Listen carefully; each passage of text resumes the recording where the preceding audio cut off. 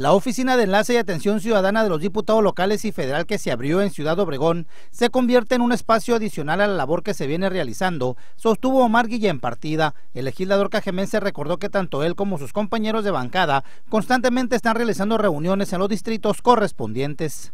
La gente de manera muy clara va a poder ir a nuestra oficina de enlace para hacer eh, alguna propuesta, para pedir alguna gestión y nosotros ya ahí instalamos un software o un sistema en el cual ya tenemos enlazado eh, el gobierno del estado, el gobierno federal y el gobierno municipal. La idea es facilitarle las cosas a la gente. A la gente.